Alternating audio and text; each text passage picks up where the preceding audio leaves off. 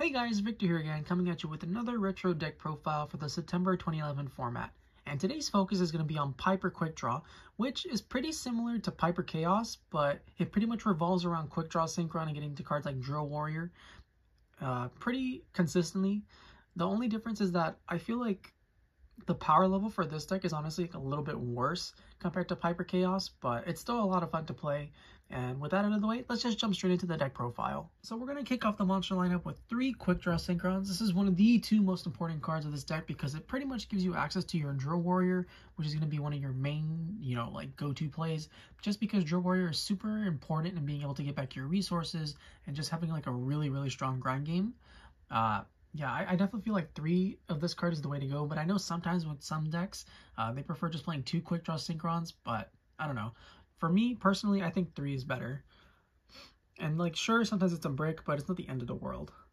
Then after that, we're going to be playing three Mystic Pipers, another fantastic card, because what it does is you tribute it, draw a card, reveal it, and then if it's level 1, which we play a lot of, you get to draw an additional card. Uh, this is going to be one of your main cards and pretty much one of your only normal summons that you're going to care about in order to help get you into key combo pieces that will in turn help you beat your opponent. And then to complement the Mystic Pipers, we're going to be playing one Kinka-byo.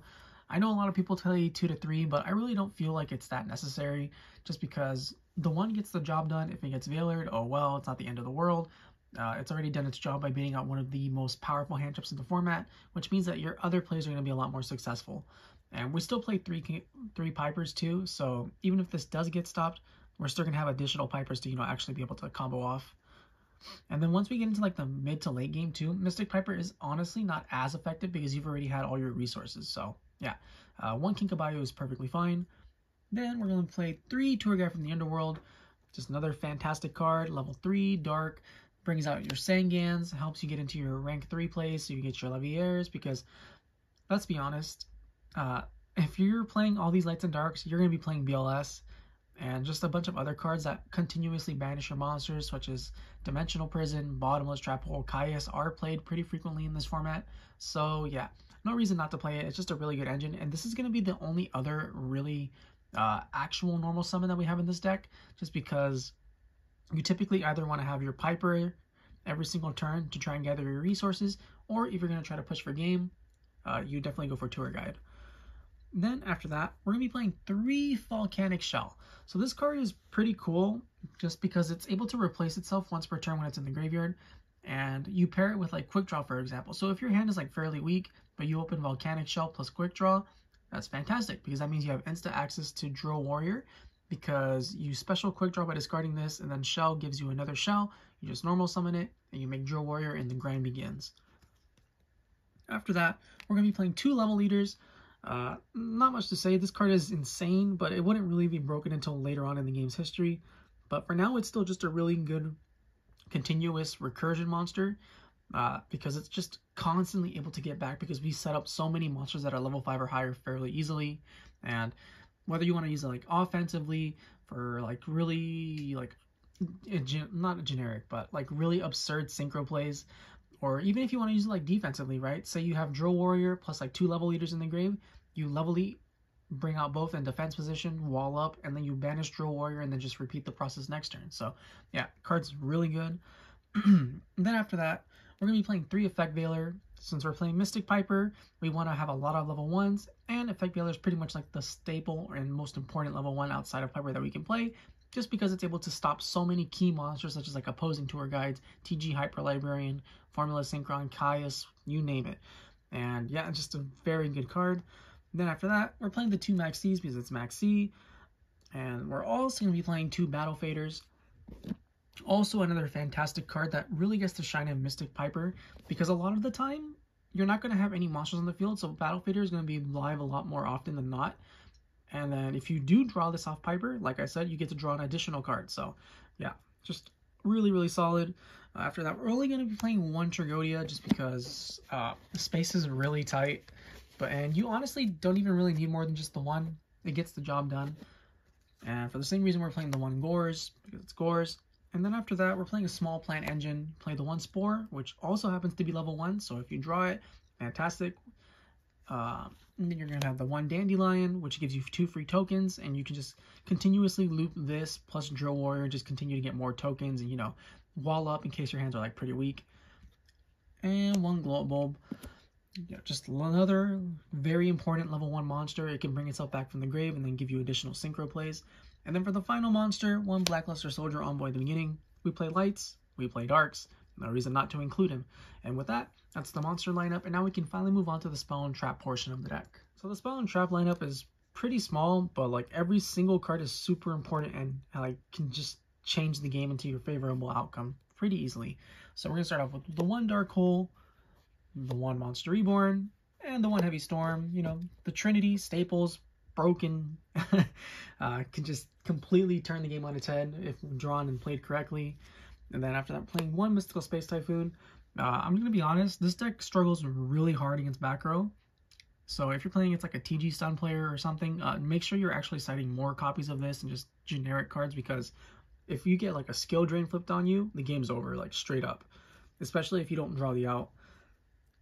Then after that, I'm playing the one Foolish Burial. A lot of our cards activate in the graveyard, like the plant monsters, whether it's Bulb or Dandy. And then there are a lot of times too where you open up like the Kinka-byo but you have nothing to do, right? So you can just foolish the Piper, you go normal summon Kinka-byo, bring back the Piper, and then just start your engine that way. So yeah, it has a lot of really cool utility. Then you have one for one, which you know, Mystic Piper is a level one. You can special summon it from the deck while filling up your graveyard with very important key cards, whether it's Volcanic Shell, Dandylion, things of that nature. Uh, then we're also playing Mind Control. This one's probably not as strong in this specific deck, but we still play a lot of tuners, so being able to have the option to take an opponent's monster and then synchro with it, it's still really good. Um, we're playing one Allure Darkness just because it's a we play a lot of darks and being able to draw two, banish one isn't the end of the world. And it also pairs really well with your tour guides, for example, because you banish a key dark monster, whether it's like level eater or whatever, then you go tour guide, Leviair, bring it back, and then it's like it was never gone. Uh, we're also playing one pot of avarice because even though this does have like chaos elements, you fill up the grave extremely easy thanks to cards like Quick Draw Synchron and your Volcanic Shells. So just being able to shuffle those cards back and then draw two is huge. And then for the final spell, just one tuning. Uh, even though this card is really good, the deck is already pretty consistent, so you honestly don't need more than one. And I've never really been a fan of like the random mill because a lot of the times, like me personally, uh, I'm just not good at this game. So that means I'm always going to be milling like a spell or trap card, and yeah, it's just, it's just no good. But being able to add quick draw synchron and then you know being able to combo with it is still always a really solid play. And that's it for the spells. And then for the traps, we're just playing the one Trap Dustshoot. And as I stated before, since there's only one trap, you have tons of other options you can do too. You can just cut traps altogether, play like another Mystical Space Typhoon, you can play Treacherous Trap Hole, you can just do so many things with it because this deck is so malleable and that you can change so many different things and still achieve a like a winning result. And with that, that's the main deck, 40 cards as always, and now we can finally go on to the extra deck. So we're going to kick off the extra deck with the first one being number 17 Leviathan Dragon. Probably the least important card in the extra deck if I'm being honest, but it's still just nice to have the option if you open up Tour Guide, and especially like later on or even early in the game if you just need a big beat stick. Uh, this will do the job. Then you have Leviair the Sea Dragon, another fantastic rank 3 card because it gets you all your banished cards or even your opponent's banished monsters that are level 4 or lower. So uh, yeah, and you're, you're pretty much going to be constantly banishing something important whether it's yourself because of like summoning BLS or your opponent deprisoning you or Caiusing you, you know, things of that nature. And then everything else is just a bunch of really good synchro monsters. So we have the Formula Synchron, you have the Armory Arm, the Ally of Justice Catastor, uh, TG Hyper Librarian, really strong in this deck, especially if you're able to like, you know, actually get your synchro plays going. Because, uh, yeah, drawing free cards in addition to like the Mystic Piper is just really good. And then something you don't see very often is one Junk Warrior. Uh, so there are a lot of times, you know, where you just have quick draw and level eater with nothing else.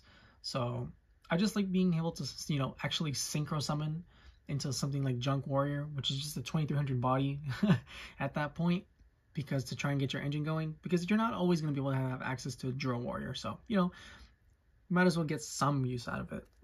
And then speaking of Drill Warrior, we're going to be playing two Drill Warrior.